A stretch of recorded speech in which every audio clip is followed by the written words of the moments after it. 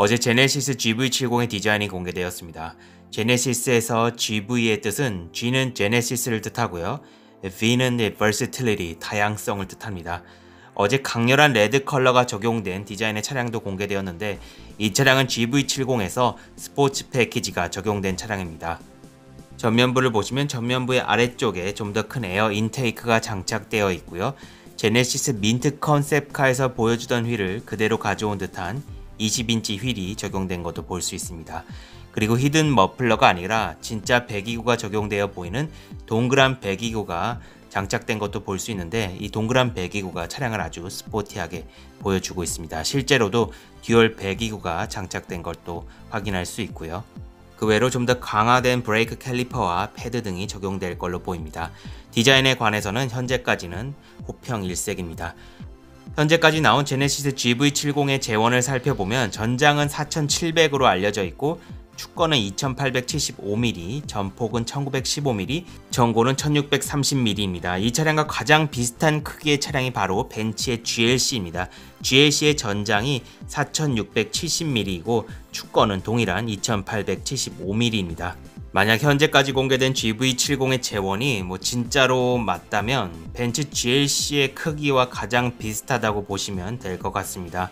뭐 GV70의 휠 베이스만 따지면 GV70의 휠 베이스가 산타페보다 물론 110mm가 더 깁니다. 하지만 GV70은 후륜구동의 베이스이기 때문에 앞쪽에 오버행도 짧고 dash to axle의 길이도 좀 더 길기 때문에 휠 베이스를 전륜구동의 차량과 비교하는 데는 좀 무리가 있을 수 있습니다. 그리고 휠 베이스가 길다고 해서 차량 실내 크기로 바로 연결되지도 않거든요.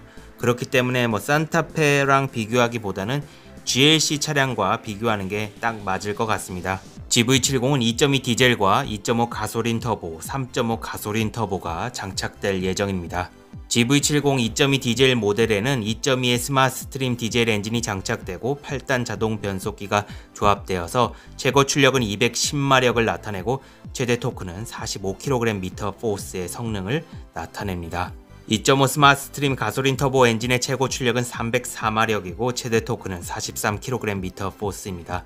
그리고 3.5 터보의 최고 출력은 380마력, 최대 토크는 54kgm force이고 두 모델 모두 8단 자동 변속기가 장착됩니다.